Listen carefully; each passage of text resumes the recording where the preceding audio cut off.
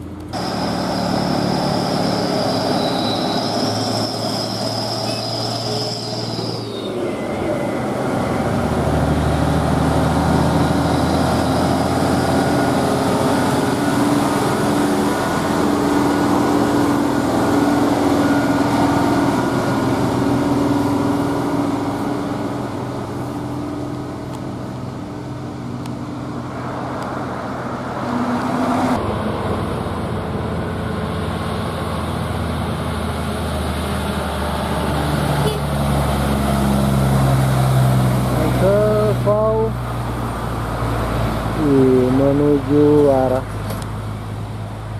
Marlong ini kan baru